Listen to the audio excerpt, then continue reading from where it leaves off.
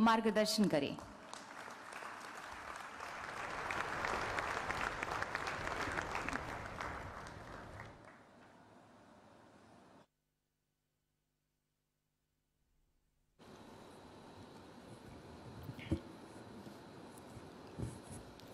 नमस्कार। केंद्रीय मंत्रिमंडल के मेरे सहयोगी श्री नितिन गडकरी जी पीयूष गोयल जी, हरदीप सिंह पुरी जी, श्री सर्बानंद सोनोवाल जी, श्री ज्योतिरादित्य सिंधिया जी, श्री अश्विनी वैष्णव जी, श्री राजकुमार सिंह जी अलग अलग राज्य सरकारों के आदरणीय मुख्यमंत्रीगण, लेफ्टिनेंट गवर्नर्स, राज्य मंत्रिमंडल के सदस्य उद्योग जगत के साथी, अन्य महानुभाव और मेरे प्यारे भाई और बहनों, आज दुर्गाष्टमी है। पूरे देश में आज शक्ति स्वरूपा का पूजन हो रहा है, कन्या पूजन हो रहा है, और शक्ति की उपासना के इस पुण्य अवसर पर देश की प्रगति की गति को भी शक्ति देने का शुभ कार्य हो रहा है।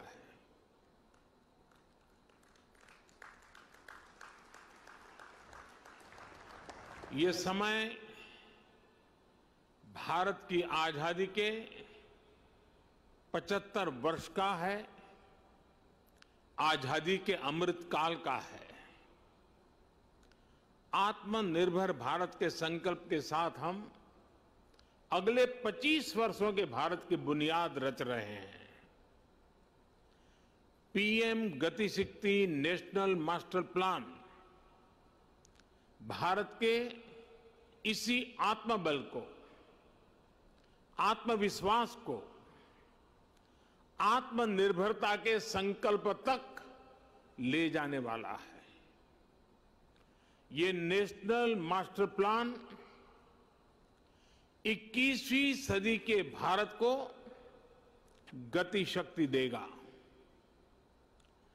नेक्स्ट जनरेशन इंफ्रास्ट्रक्चर और मल्टी मॉडल कनेक्टिविटी को इस नेशनल प्लान से गति शक्ति मिलेगी।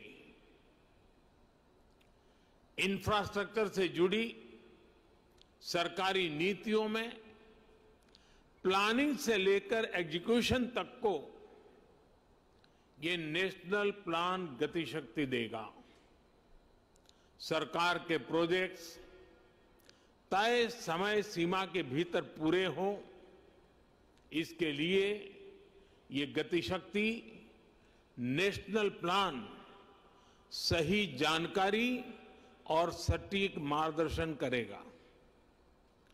गतिशक्ति के इस महाअभियान के केंद्र में हैं भारत के लोग, भारत की इंडस्ट्री, भारत का व्यापार जगत, भारत के मैन्युफैक्चरर्स भारत के किसान, भारत का गाँव। ये भारत की वर्तमान और आने वाली पीढ़ियों को 21वीं सदी के भारत के निर्माण के लिए नई ऊर्जा देगा। उनके रास्ते के अवरोध समाप्त करेगा। ये मेरा सौभाग्य है कि आज के इस पावन दिन में पीएम गतिशक्ति नेशनल प्लान इसका शुभारंभ करने का मुझे अवसर मिला है। साथियों, आज ही यहाँ प्रगति मैदान में बन रहे international exhibition cum convention centre के चार प्रदर्शनी हॉल का लोकार्पण भी हुआ है। दिल्ली में आधुनिक इंफ्रा से जुड़ा ये भी एक अहम कदम है। ये एग्जीबिशन सेंटर्स, हमारे एमएसएमईज हमारे हैंडीक्राफ्ट, हमारे कुटीर उद्योग को अपने प्रोडक्ट दुनिया भर के बाजारों के लिए शोकेस करने ग्लोबल मार्केट तक अपनी पहुँच बढ़ाने में बहुत बड़ी मदद करेंगे।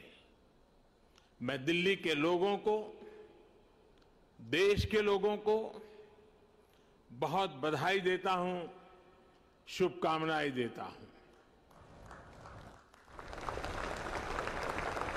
साथियों हमारे यहाँ दशकों तक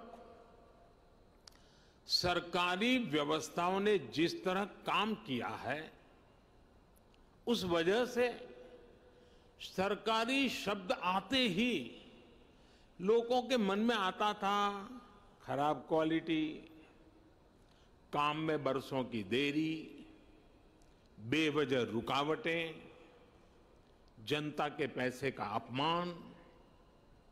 मैं अपमान इसलिए कह रहा हूँ क्योंकि जो टैक्स के रूप में देश की जनता सरकार को देती है उस पैसे का इस्तेमाल करते समय सरकारों में ये भावना ही नहीं होती थी कि एक भी पैसा बर्बाद नहीं होना चाहिए।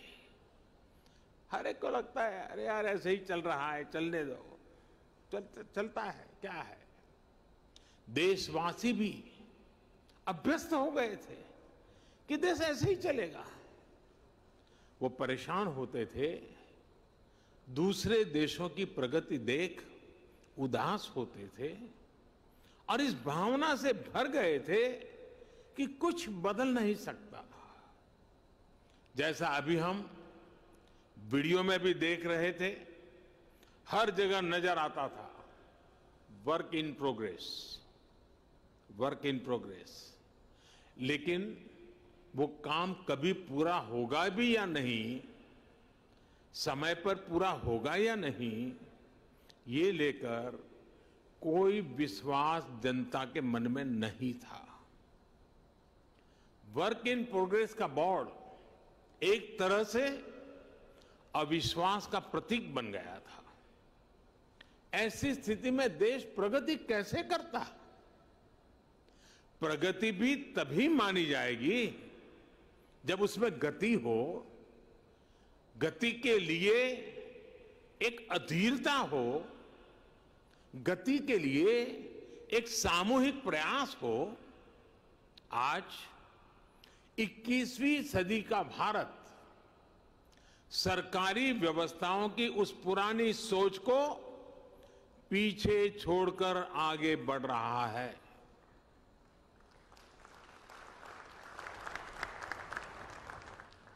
आज का मंत्र है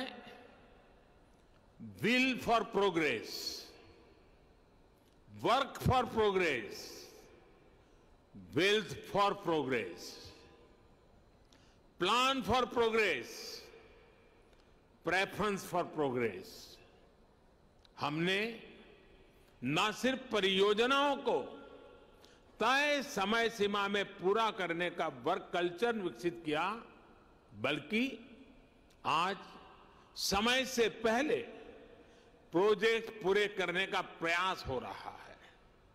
अगर आज भारत आधुनिक इंफ्रास्ट्रक्चर के निर्माण के लिए ज़्यादा से ज़्यादा इन्वेस्टमेंट करने के लिए प्रतिबद्ध है तो वही आज का भारत हर वो कदम भी उठा रहा है जिससे प्रोजेक्ट में देरी ना हो। रुकावटें ना आए, कम समय पर पूरा हो। साथियों, देश का सामान्य मानवी एक छोटा सा भी घर बनाता है तो उसके लिए बाकायदा प्लानिंग करता है। कोई बड़ी यूनिवर्सिटी बनती है, कोई कॉलेज बनाता है तो भी पूरी प्लानिंग के साथ बनाया जाता है। समय समय पर उसके विस्तार की गुंजाइश को भी पहले से ही सोच लिया जाता है। और ये इसमें हर किसी का अनुभव है। हर एक का ये अनुभव से आप गुजरे हैं। लेकिन दुर्भाग्य से हम भारत में इंफ्रास्ट्रक्चर से जुड़े प्रोजेक्ट्स में कॉम्प्रिहेंसिव प्लानिंग से जुड़ी अनेक कमियाँ रोज़मर्रा अनुभव करते हैं। थोड़ा बहुत जहाँ हुआ भी है तो हमने देखा है कि रेलवे अपनी प्लानिंग कर रही है। रोड ट्रांसपोर्ट डिपार्टमेंट अपनी प्लानिंग कर रहा है। टेलीकॉम डिपार्टमेंट की अपनी प्लानिंग होती है। गैस नेटवर्क का काम अलग प्लानिंग से हो रहा है। ऐसे ही तमाम डिपार्टमेंट अलग अलग प्लान करते हम सभी ने ये भी देखा है कि पहले कहीं सड़क बनती है, सड़क बिल्कुल तैयार हो जाती है। और फिर कोई पानी वाला डिपार्टमेंट आएगा, वो पानी की पाइप के लिए उसकी खुदाई कर देता है। फिर पानी वाले पहुँच जाते हैं। इसी प्रकार काम होता रहता है। ये भी होता है कि रोड बनाने वाले डिवाइडर बना देते हैं। और फिर ट्रैफ़िक पुलिस कहती है कि इससे तो जाम लगा रहेगा, डिवाइडर हटाओ। कहीं चौराहे पर सर्किल बना दिया जाता है तो ट्रैफ़िक सुचारू रूप से चलने में बजाय वहाँ अव्यवस्था होने लगती है। और हमने देश भर में ऐसा होते हुए देखा है। इन परिस्थितियों के बीच जब सारे प्रोजेक्ट्स को सिंक्रोनाइज करने की ज़रूरत पड़ती है तो इसके लिए बहुत ज़्यादा एफर्ट्स करना पड़ता है। बिगड़ी हुई बात को ठीक करने में बहुत मेहनत लगती है। साथियों, ये जितनी भी दिक्कतें हैं, उसका मूल कारण ये है कि मैक्रो प्लानिंग और माइक्रो इम्प्लीमेंटेशन ज़मीन आसमान का अंतर होता है। अलग अलग विभागों को पता ही नहीं होता कि कौन सा विभाग, कौन सा प्रोजेक्ट कहाँ शुरू करने की तैयारी कर रहा है। राज्यों के पास भी इस तरह की जानकारी एडवांस में नहीं होती। इस तरह के साइलोस के कारण निर्णय प्रक्रिया भी प्रभावित होती है और बजट की भी बर्बादी होती है। सबसे बड़ा नुकसान ये होता है कि शक्ति जुड़ने के बजाय, शक्ति मल्टीप्लाई होने के बजाय, शक्ति विभाजित हो जाती है। जो हमारे प्राइवेट प्लेयर्स हैं, उन्हें भी ये ठीक ठीक पता नहीं होता कि भविष्य में यहाँ से सड़क गुजरने वाली है, या यहाँ से कैनाल बनने वाली है, या यहाँ कोई पावर स्टेशन लगने वाला है। इस वजह से वो भी किसी क्षेत्र को लेकर, किसी सेक्टर को लेकर बेहतर प्लान नहीं कर पाते हैं। इन सारी दिक्कतों का हल पीएम गतिशक्ति नेशनल प्लान इससे ही निकलेगा। जब हम मास्टर प्लान को आधार बनाकर चलेंगे तो हमारे रिसोर्सेज का भी ऑप्टिमम यूटिलाइजेशन होगा। साथियों, हमारे देश में इंफ्रास्ट्रक्चर का विषय ज़्यादातर राजनीतिक दलों की प्राथमिकता से दूर रहा है। ये उनके घोषणा पत्र में भी नज़र नहीं आता है। अब तो ये स्थिति आ गई है कि कुछ राजनीतिक दल देश के लिए ज़रूरी इंफ्रास्ट्रक्चर के निर्माण पर आलोचना करने में गर्व करते हैं। जबकि दुनिया में ये स्वीकृत बात है कि सस्टेनेबल डेवलपमेंट के लिए क्वालिटी इंफ्रास्ट्रक्चर का निर्माण एक ऐसा रास्ता है जो अनेक आर्थिक गतिविधियों को जन्म देता है, बहुत बड़े पैमाने पर रोज़गार का निर्माण करता है। जैसे स्किल मैन पावर के बिना हम किसी क्षेत्र में आवश्यक परिणाम नहीं प्राप्त कर सकते, वैसे ही बेहतर आधुनिक इंफ्रास्ट्रक्चर के बिना हम चौतरफा विकास नहीं कर सकते। साथियों राजनीतिक इच्छा शक्ति की कमी के साथ ही देश के इंफ्रास्ट्रक्चर डेवलपमेंट को सबसे ज़्यादा नुकसान पहुँचाया सरकारी विभागों के बीच आपसी तालमेल की कमी ने, आपसी खींचतान ने, राज्यों में भी हमने, राज्य सरकारों और स्थानीय निकायों के बीच इस विषय पर तनाव होते देखा है। इस वजह से जो प्रोजेक्ट देश की इकोनॉमिक ग्रोथ को बढ़ाने में मददगार होने चाहिए थे, वही प्रोजेक्ट देश के विकास के सामने एक दीवार बन जाते हैं। समय के साथ बरसों से लटके हुए प्रोजेक्ट, अपनी प्रासंगिकता, अपनी ज़रूरत भी खो देते हैं। मैं जब 2014 में यहाँ दिल्ली एक नई जिम्मेवारी के साथ आया तो भी ऐसे सैकड़ों प्रोजेक्ट थे जो दशकों से लटके हुए थे।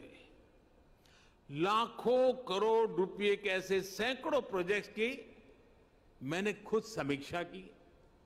सरकार के सारे विभागों, सारे मंत्रालयों को एक प्लेटफॉर्म पर लाकर खड़ा कर दिया। सारी रुकावटों को दूर करने का प्रयास किया। मुझे संतोष है कि अब सबका ध्यान इस ओर गया है कि आपसी तालमेल की कमी की वजह से परियोजनाओं में देरी ना हो। अब होल ऑफ़ गवर्नमेंट अप्रोच के साथ सरकार की सामूहिक शक्ति योजनाओं को पूरा करने में लग रही है। इसी वजह से अब दशकों से अधूरी बहुत सारी परियोजनाएँ पूरी हो रही है। साथियों पीएम गति शक्ति अब ये सुनिश्चित करेगी कि 21वीं सदी का भारत इंफ्रास्ट्रक्चर प्रोजेक्ट में कोऑर्डिनेशन में कमी की वजह से ना पैसे का नुकसान उठाए और ना ही समय गंवाए। पीएम गति शक्ति नेशनल मास्टर प्लान के तहत रोड से लेकर रेलवे तक एविएशन से लेकर के एग्रीकल्चर तक विभिन्न मंत्रालयों को, विभागों को इससे जोड़ा जा रहा है। हर बड़े प्रोजेक्ट को, हर डिपार्टमेंट को सही जानकारी, सटीक जानकारी समय पर मिले, इसके लिए टेक्नोलॉजी प्लेटफॉर्म भी तैयार किया गया है। आज यहाँ कई राज्य के मुख्यमंत्री और राज्यों के अन्य प्रतिनिधि भी जुड़े हैं। मेरा सभी से आग्रह है कि जल्द से जल्द आपके राज्य भी PM Gati Shakti national master plan से जुड़कर अपने राज्य की योजनाओं को गति दें। इससे राज्य के लोगों का भी बहुत लाभ होगा। साथियों पीएम गतिशक्ति मास्टर प्लान, सरकारी प्रोसेस और उससे जुड़े अलग अलग स्टेक होल्डर्स को तो एक साथ लाता ही है। ये ट्रांसपोर्टेशन के अलग अलग बोर्ड्स को आपस में जोड़ने में भी मदद करता है। ये हॉलिस्टिक गवर्नेंस का विस्तार है। अब जैसे गरीबों के घर से जुड़ी योजना में सिर्फ़ चार दीवारी नहीं बनाई जाती, बल्कि उसमें टॉयलेट, बिजली, पानी, गैस कनेक्शन भी साथ ही आता है। ठीक वैसा ही विजन इसमें इंफ्रास्ट्रक्चर के लिए भी है। अतीत में हमने देखा है कि उद्योगों के लिए स्पेशल जोन का ऐलान तो किया जाता था लेकिन वहाँ तक कनेक्टिविटी या फिर बिजली पानी टेलीकॉम पहुँचाने में गंभीरता नहीं दिखाई जाती थी। साथियों, ये भी बहुत सामान्य बात थी कि जहाँ सबसे ज़्यादा माइनिंग का काम होता है, वहाँ रेल कनेक्टिविटी नहीं होती थी। हम सभी ने यह भी देखा है कि कहीं पोर्ट होते थे तो पोर्ट को शहर से कनेक्ट करने के लिए रेल या रोड की सुविधाओं का अभाव होता था।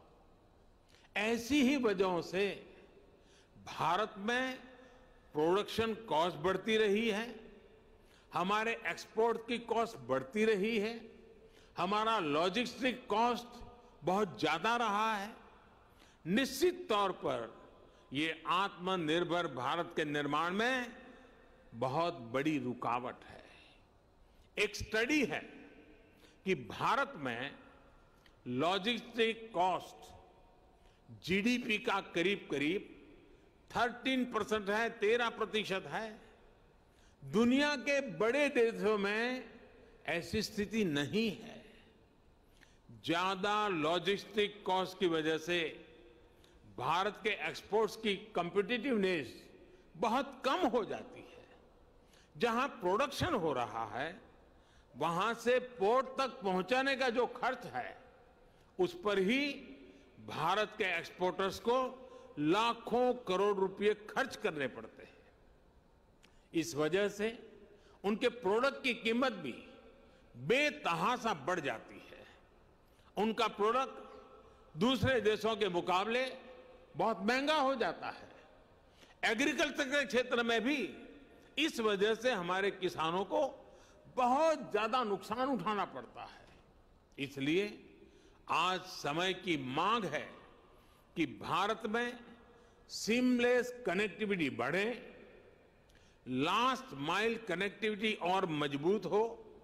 इसलिए ये PM Gati Shakti national master plan बहुत बड़ा और बहुत ही महत्वपूर्ण कदम है।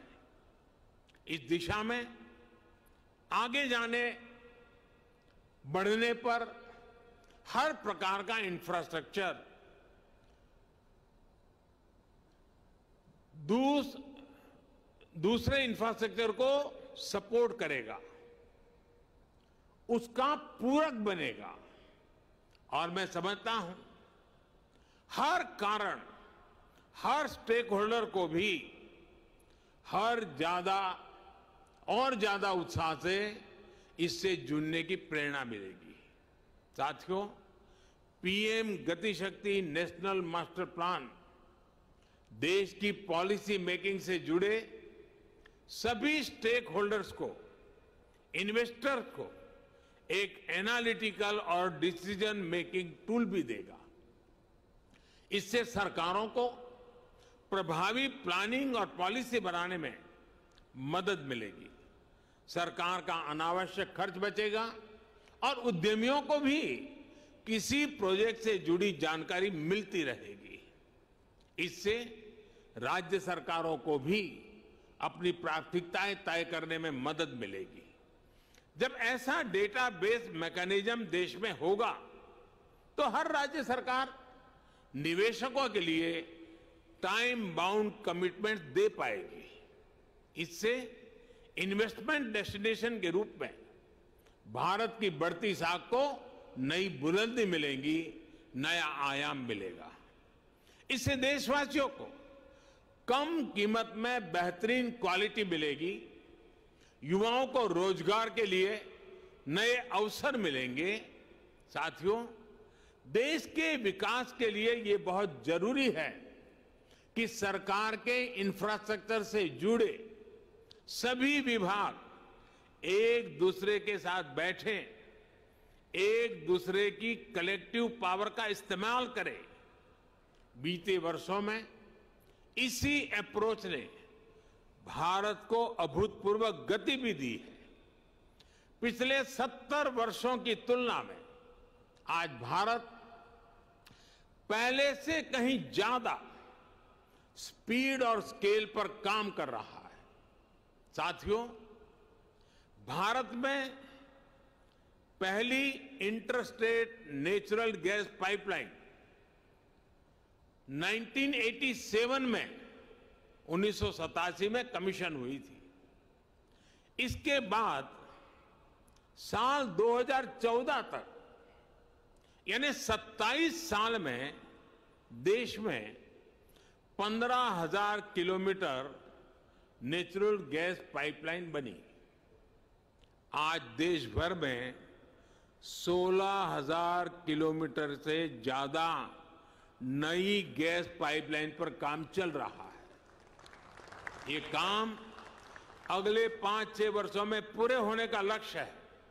यानी जितना काम 27 वर्षों में हुआ हम उससे ज़्यादा काम उसके आधे समय में करने का लक्ष्य लेकर चल रहे हैं। काम करने की यही रफ्तार आज भारत की पहचान बन रही है। 2014 के पहले के पाँच सालों में सिर्फ़ 1900 किलोमीटर 1900 किलोमीटर रेल लाइनों का दोहरीकरण होता था। बीते सात वर्षों में हमने 9000 किलोमीटर से ज़्यादा रेल लाइनों की डबलिंग की है।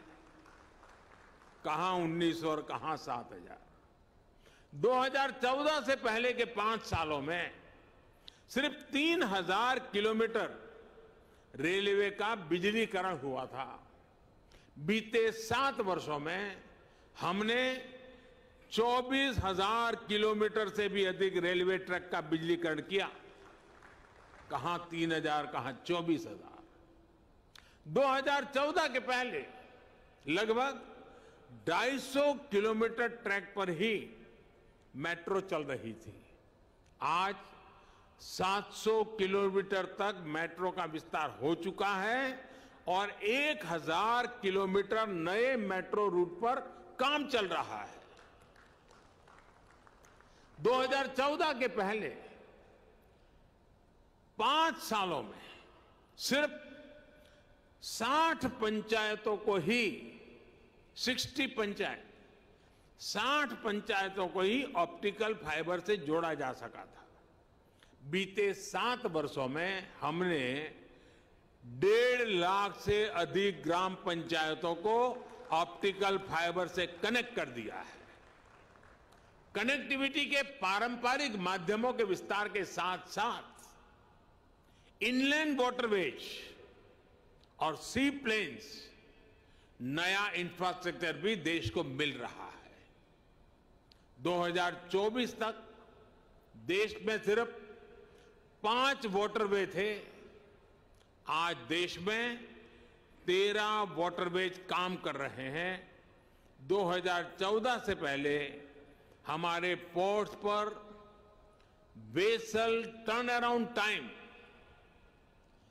41 hour इकतालीस घंटे से भी ज़्यादा था।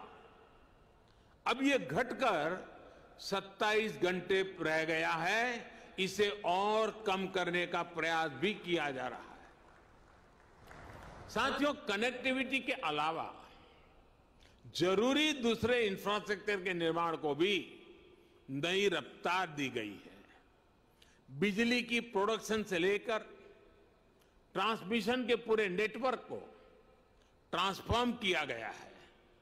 One nation, one power grid का संकल्प सिद्ध हो चुका है। 2014 तक देश में जहाँ तीन lakh circuit kilometre power transmission lines थी, वहीं आज ये बढ़कर सवा चार लाख सर्किट किलोमीटर से भी ज़्यादा हो चुकी है। न्यू एंड रिन्यूएबल एनर्जी के मामले में, जहाँ हम बहुत ही मार्जिनल प्लेयर थे, वहीं आज हम दुनिया के टॉप पाँच देशों में पहुँच चुके हैं। 2014 के इंस्टॉल कैपेसिटी से करीब करीब तीन गुना कैपेसिटी यानी 100 गीगावाट से ज़्यादा भारत हासिल कर चुका है। साथियों, आज देश में एविएशन का आधुनिक इकोसिस्टम विकसित करने पर तेज़ी से काम हो रहा है। एयर कनेक्टिविटी बढ़ाने के लिए देश में नए एयरपोर्ट्स के निर्माण के साथ ही हमने एयर स्पेस को भी और ज़्यादा खोल दिया है। बीते एक दो वर्षों में ही सौ से ज़्यादा एयर रूट्स की समीक्षा करने उनकी दूरी घटाई गई है। जिन क्षेत्रों के ऊपर से पैसेंजर फ्लाइट्स के उड़ने पर पाबंदी थी, उसे भी हटाया गया है। इस एक फैसले से बहुत से शहरों के बीच एयर टाइम कम हुआ है, उड़ान का समय कम हुआ है। एविएशन सेक्टर को मजबूती देने के लिए नई एमआरओ पॉलिसी बनाना है, जिस जीएसटी काम पूरा करना हो, पायलट्स की ट्रेनिंग की बात हो, इन सभी पर काम किया गया है।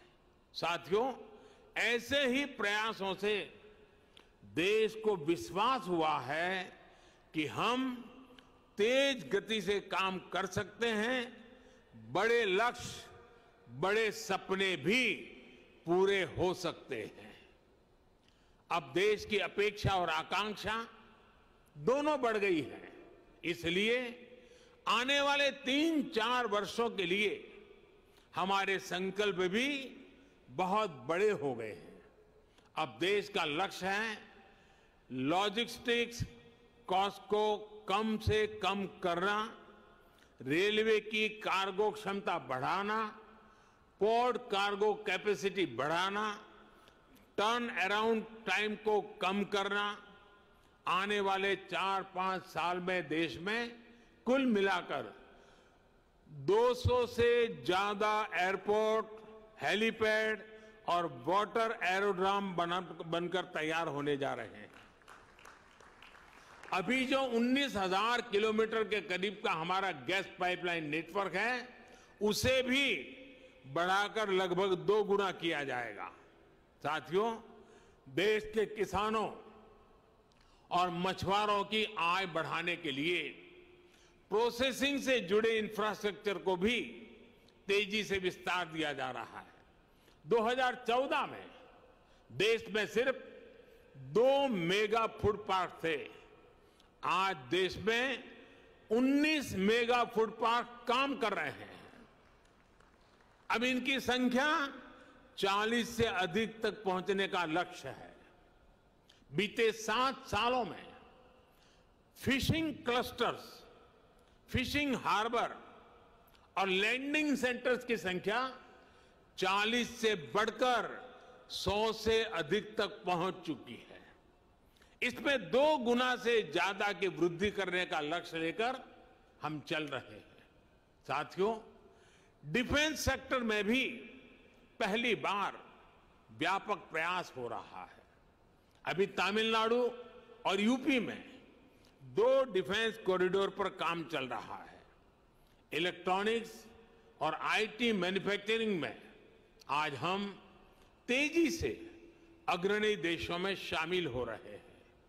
एक समय हमारे यहाँ पाँच मैन्युफैक्चरिंग क्लस्टर थे आज पंद्रह मैन्युफैक्चरिंग क्लस्टर हम तैयार कर चुके हैं और इसे भी दो गुना तक वृद्धि का टारगेट है। बीते सालों में चार इंडस्ट्रियल कॉरिडोर शुरू हो चुके हैं और अब ऐसे कॉरिडोर्स की संख्या को एक दर्जन तक बढ़ाया जा रहा है। साथियों, आज सरकार जिस अप्रोच के साथ काम कर रही है उसका एक उदाहरण प्लग एंड प्ले इंफ्रास्ट्रक्चर का निर्माण भी है। अब देश की इंडस्ट्री को ऐसी सुविधाएँ देने का प्रयास है, जो प्लग एंड प्ले इंफ्रास्ट्रक्चर से युक्त हो। यानी देश और दुनिया के निवेशकों को सिर्फ़ अपना सिस्टम लगाना है और काम शुरू करना है। जैसे ग्रेटर नोएडा के दादरी में ऐसी ही इंटीग्रेटेड इंडस्ट्रियल टाउनशिप तैयार हो रही है। इसको पूर्वी और पश्चिमी भारत के पोर्ट्स से डेडिकेटेड फ्रेट कॉरिडोर से जोड़ा जा रहा है। इसके लिए यहाँ मल्टी मॉडल लॉजिस्टिक हब बनाया जाएगा। इसी के बगल में मल्टी मॉडल ट्रांसपोर्ट हब बनेगा, जिसमें state of the art railway terminus होगा। जिसको इंटर और इंटर स्टेट बस टर्मिनस मिलेगा। मास रैपिड ट्रांजिट सिस्टम और दूसरी सुविधाओं से सपोर्ट किया जाएगा। देश के अलग अलग हिस्सों में ऐसी ही सुविधाओं के निर्माण से भारत दुनिया की बिज़नेस कैपिटल बनने का सपना साकार कर सकता है। साथियों, ये जितने भी लक्ष्य मैंने गिनाए हैं, ये लक्ष्य सामान्य नहीं है। और इसलिए इनको हासिल करने के लिए प्रयास भी अभूतपूर्व होंगे और इसके तरीके भी अभूतपूर्व होंगे। और इन्हें सबसे ज़्यादा ताकत PM Gati Shakti national master plan से ही मिलेगी। जिस प्रकार जेम ट्रिनिटी यानी जनधन आधार मोबाइल की शक्ति से देश में सरकारी सुविधाओं को तेज़ी से सही लाभार्थी तक पहुँचाने में हम सफल हुए हैं। पीएम गतिशक्ति इंफ्रास्ट्रक्चर के क्षेत्र में वैसा ही काम करने वाला है। ये पूरे देश के इंफ्रास्ट्रक्चर की प्लानिंग से लेकर एजुकेशन तक एक होलिस्टिक विजन लेकर आ रहा है। एक बार फिर मैं सभी राज्य सरकारों को इससे जुड़ने के लिए आमंत्रित करता हूँ, आग्रह भी करता हूँ। ये समय जुट जाने का है। आज़ादी के इस पचहत्तरवें वर्ष में देश के लिए कुछ कर दिखाने का है। इस कार्यक्रम से जुड़े हर व्यक्ति से मेरा यही आग्रह है, यही मेरी उम्मीद है। आप सभी को इस महत्वपूर्ण कार्यक्रम में पधारने के लिए मैं आपका धन्यवाद देता हूँ। और मुझे विश्वास है कि प्रधानमंत्री Gati Shakti master plan private party भी उसको बहुत बारीकी से देखेगी। वे भी इससे जुड़ करके अपनी भावी रणनीति तय कर सकती हैं, विकास के नए आयाम को छू सकती हैं। मेरी आप सबको बहुत बहुत शुभकामनाएँ हैं। देशवासियों को आज नवरात्रि के पावन पर्व पर शक्ति के इस उपासना के समय शक्ति की भगीरथ कार्य के लिए अनेक अनेक शुभकामनाओं देते हुए मेरी वाणी को विराम देता हूँ। बहुत बहुत धन्यवाद। शुभकामनाएँ।